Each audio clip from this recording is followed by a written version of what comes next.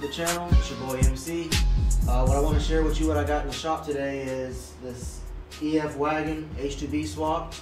Um, it's actually been in a video before on my channel. I did a uh, fuel system intake and put the battery in the back, a couple other small things. But um, it's back, so what we're gonna do is do the uh, function form coilovers.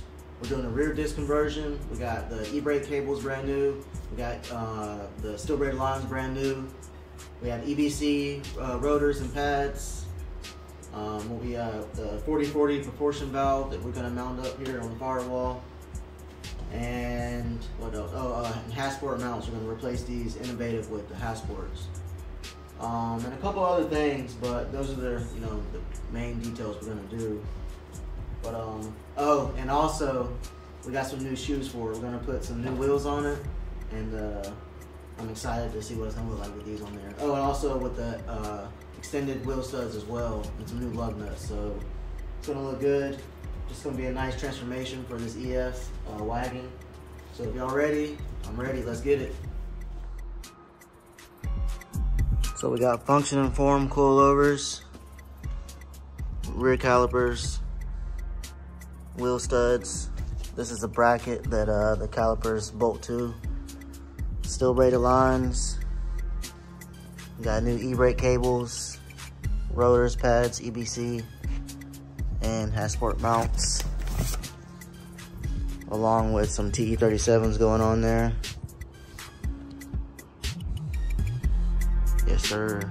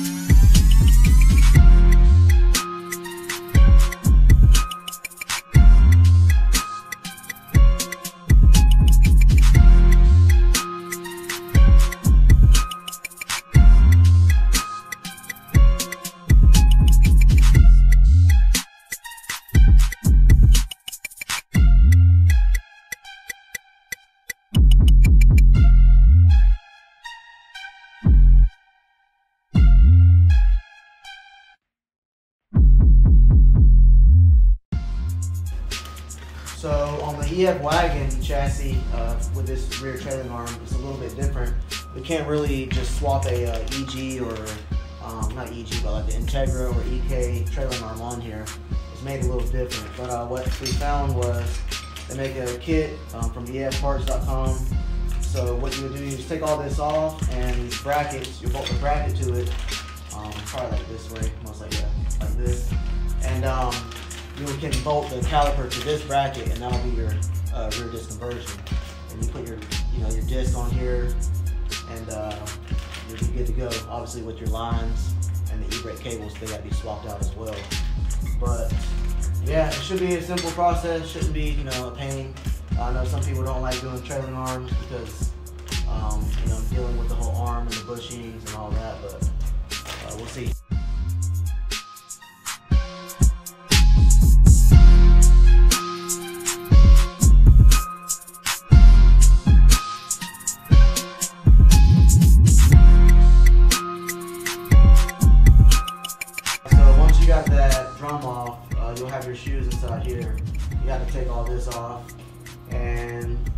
We'll have to take this uh, wheel bearing off, but um, might replace it with new. Since we're already that far into it, you might as well put new wheel bearings in the rear. So um, we'll see.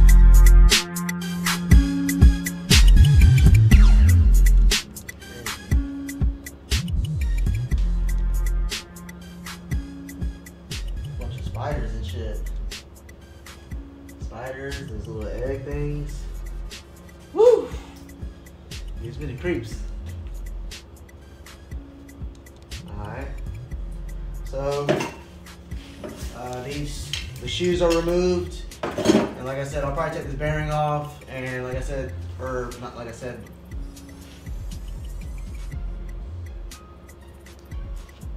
Alright, so now that the shoe is off, uh, I'm about to spray some brake cleaner on all these, these little egg looking things. Spider, but uh, um, we'll take the wheel bearing off. We'll take this big plate off, um, the dust shield, and obviously this. But um, and then put that bracket on there, and then mount up the other calipers.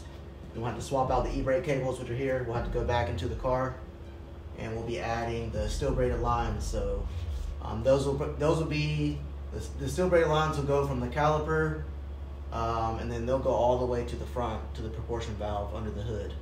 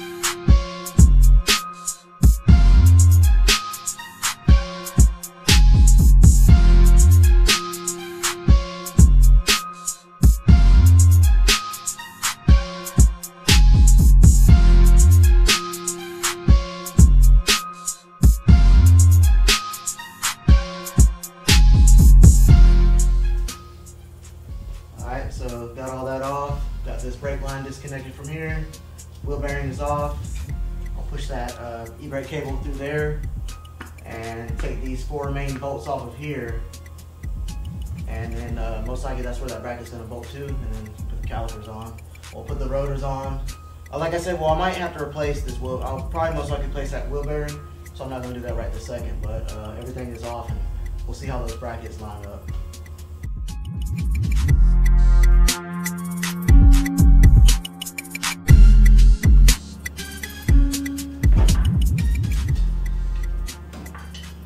Alright, so that was a pain to get this e-brake uh, cable out of this little hole right here, the way that little bracket is made. But um, so that's all the way off. So now for this part, I see that, so you put the bracket here, and I assume you're supposed to use the bolts that came off of there, but it doesn't give you much space, so I'm probably gonna just get a little bit longer bolts um, for this part. But you put that there. Mean, it threads on, but I would like for it to thread on a little bit more. This is your rear brakes, you know. But um, so that'll it'll be like that, and then you'll bolt your uh, caliper. I mean, yeah, you'll bolt your caliper, caliper bracket, and your caliper to this bracket right here and that will be a simple e-brake, uh, I mean a uh, rear disc conversion. So, like I said, I'll probably replace this with new.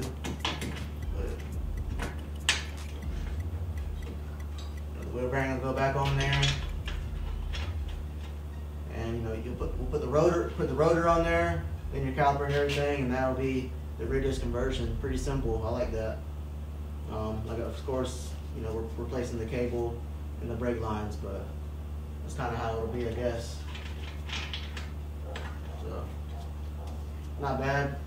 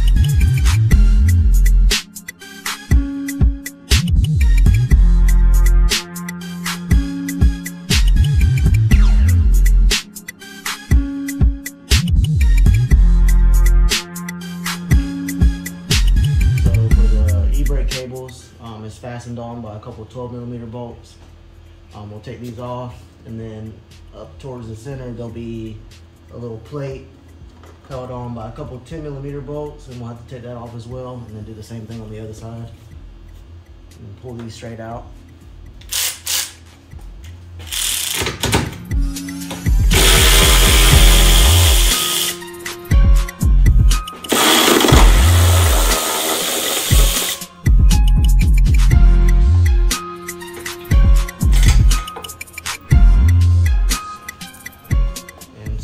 Side. A couple 12 millimeter bolts holding it on.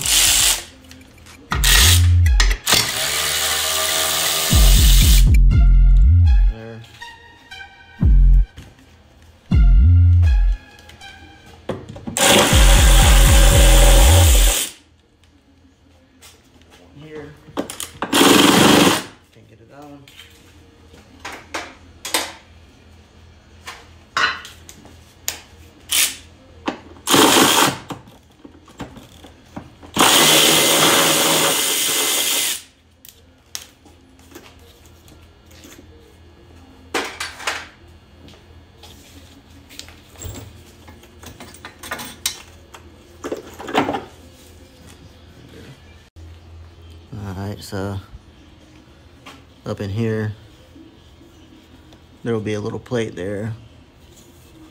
That's where the cables are going in. I have to take that off as well. A couple uh, 10 millimeter bolts there. And we'll pull the e-brake cables away from the actual e-brake handle and these will come out.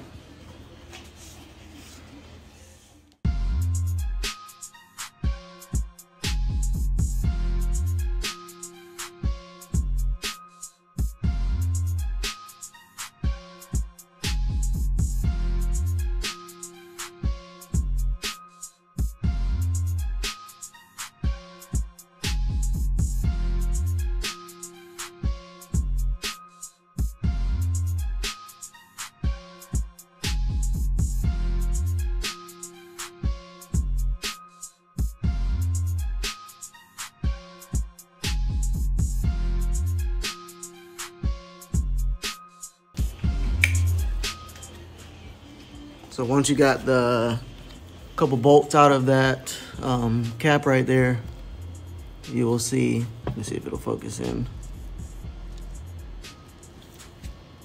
There you go. So that's what it'll look like kind of. All right, so that's what it'll look like once you have that cap off. Um, you see the cables in there, they're going inside the car. You'll undo those from the e-brake handle itself and then pull these all the way out. All right, we're here in the interior part. I've already got the e-brake, uh, you know, the center console off. So this is what it'll look like. You'll see the e-brake cables here going to the e-brake handle. What we'll do is you can take you'll you'll take these two 12s off, but um you'll just turn this sideways and take the cable out of here, and then the same thing over here, and then just pull it out from the bottom of the car again, and that'll be it for the removal of the old cables.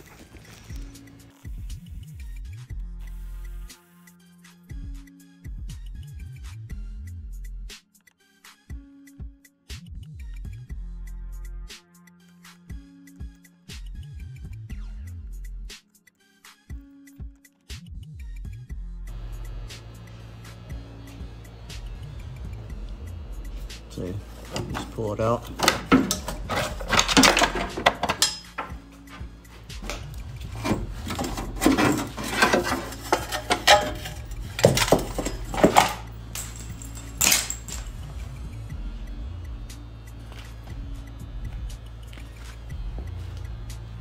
So the reason you have to swap these out is for, you know, this is from the, the drum setup. The drum brake setup. So it will not work with uh, a rear disc, you know, a caliper setup. So you gotta swap these out.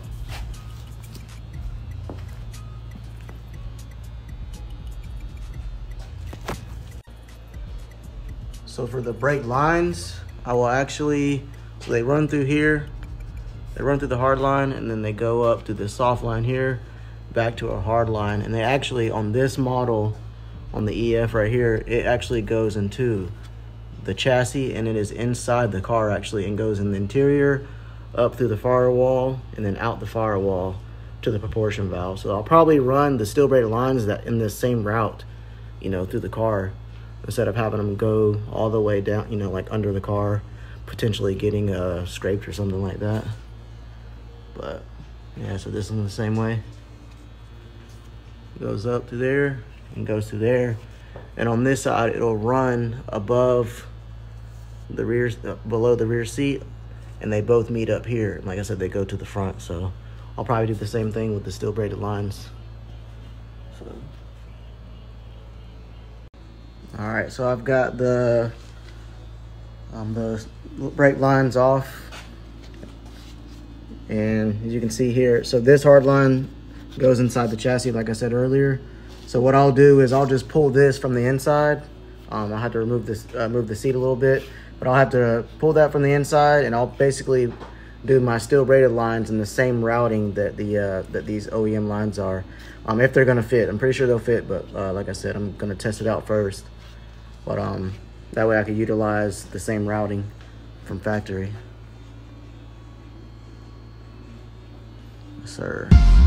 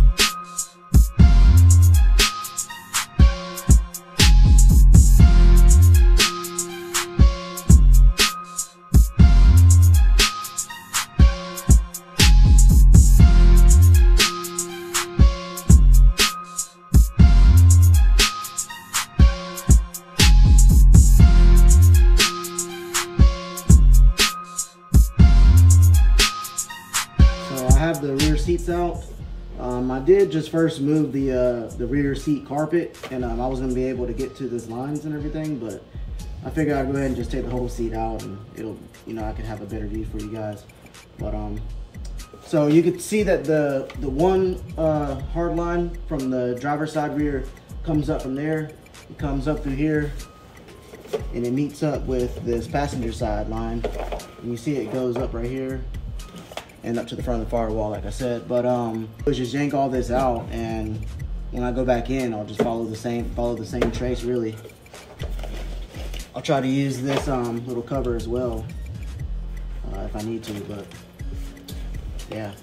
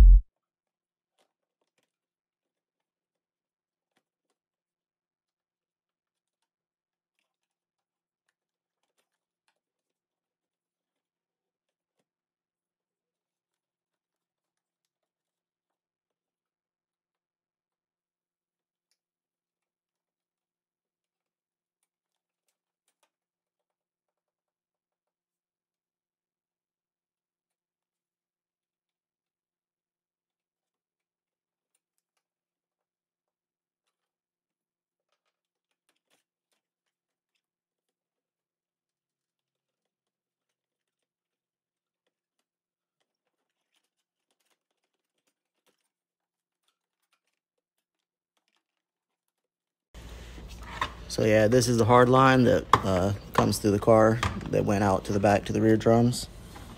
So, like I said, it goes up through there, all the way to the side, all the way up through behind that behind the dash. So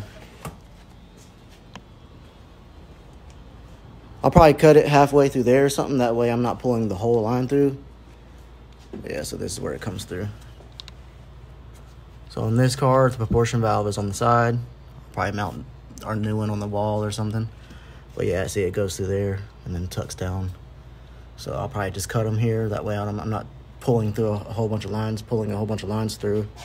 But uh, yeah. Little H2B wagon.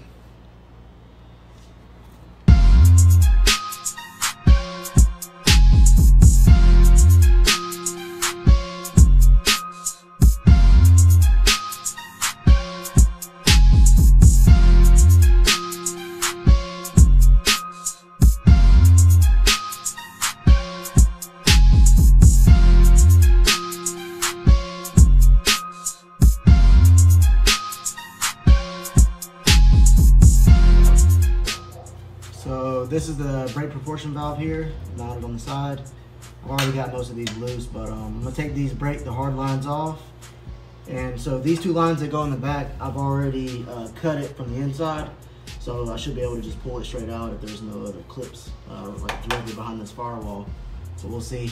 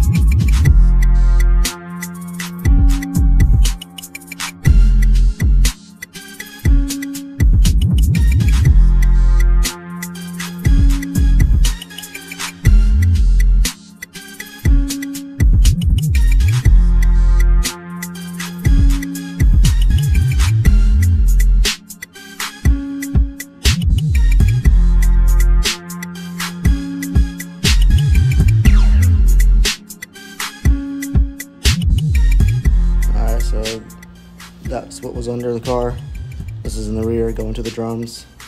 It went inside there and went all the way up to there. This was right at the firewall. Cut it into your proportion valve. So I just cut it in sections. I was never going to use the hard line again.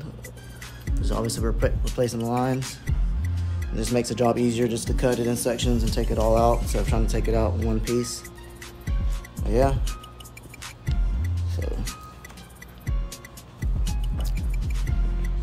much through here. So these lines will be replaced as well with steel braided. These are going to the proportion valve as well. Those two lines are going through there. So what I'm gonna do, I'm gonna try to sneak the two steel braided lines through there and go out the back the same way. But yeah, that is the plan.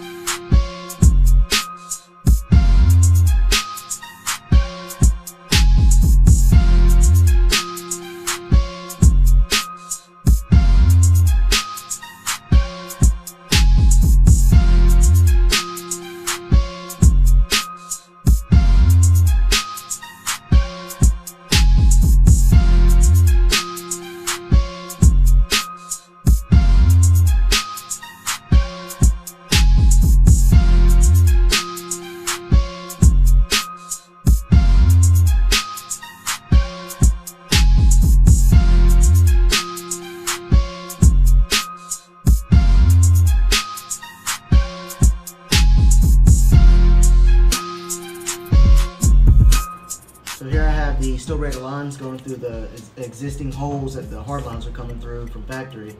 Uh, what I'll do is get uh, some more rubber little grommets to put in here. That way it's not, the firewall's not cutting to the line, you know, from vibrations or anything. But um, I got them sitting here. I'll probably run the 40-40 uh, proportion valve probably on the side where uh, the stock one used to be mounted. So um, we'll see how that goes. But I'm gonna take the rest of these lines out and keep on finishing this up, uh, try to finish this up. I got these lines going to the back and got them already in place for the rear disc conversion as well. So I think it'll be good. I just gotta figure out how it'll be mounted, but I think that'll be cool with the grommet in there. Also, during this uh, conversion, we'll be swapping out the master, the brake master cylinder with a uh, 15th, 16th unit, which is comes on the 91 Civic EX, and also the DA Integra is the same size as well.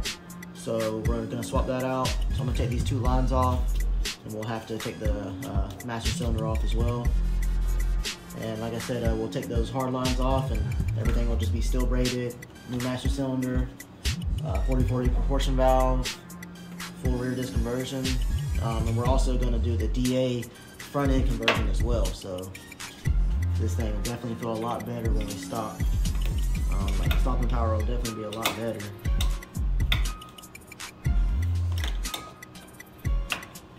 You know, because these front these front rotors, I mean, uh, yeah, the front the brake the uh, the rotors Yeah, uh, the front rotor size is, I think they're smaller, like nine and a half or something on this Civic. And I know the Integra, the DA Integra is about two, uh, 10 inch, 10.3 or something. So a little over 10 inches um, on the on the rotor size. Calipers, I'm sure, are bigger as well.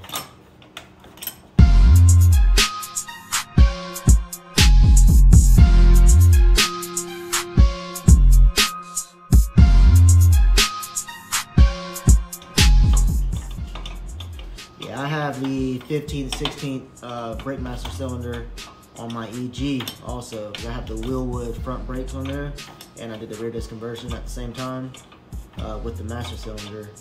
And my EG definitely stops really good.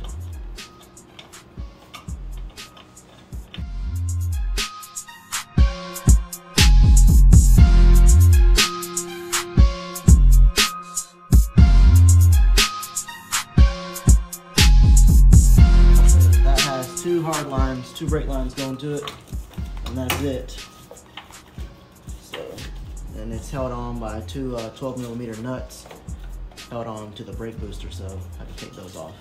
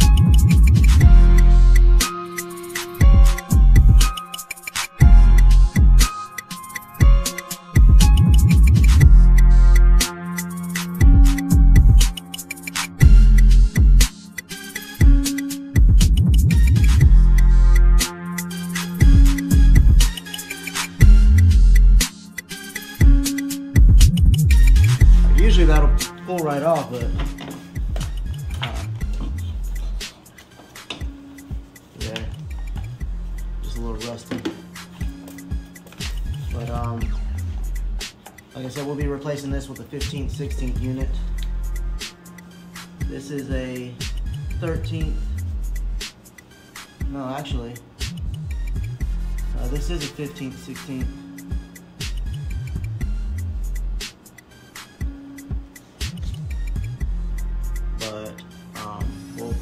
Most likely put the brand new one on anyways. Um, maybe the lines might uh, bolt in a little bit differently, but we'll compare the two.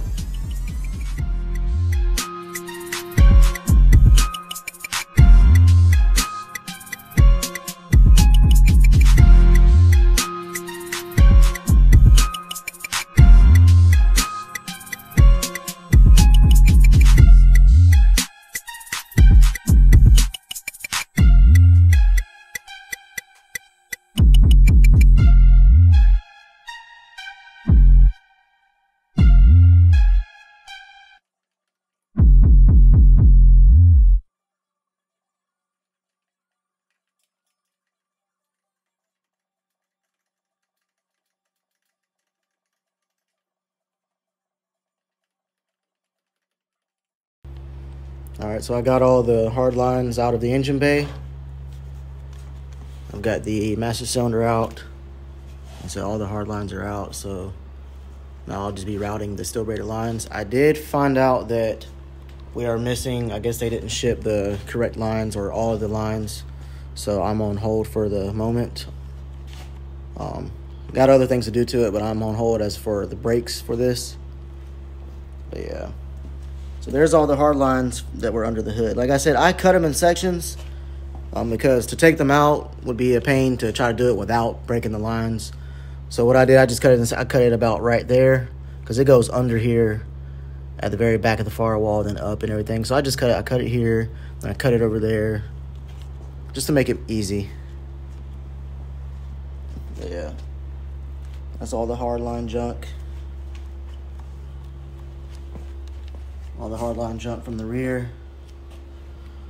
So what I'll do in the back, so steel braided line will be coming out. Hold on one second, I'm trying to get it.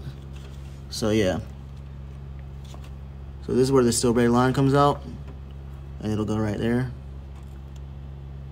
So what I'm gonna do, I'm gonna still use the little factory factory grommet that came out. Steel braided line comes out there. It'll connect to another steel braided line to your rear caliper. So yeah, it's gonna be fun, man. It's gonna be fun seeing how these brakes perform. Like I said, it's an H23 powered wagon. Definitely needs some nice brakes, some nice stopping power. So.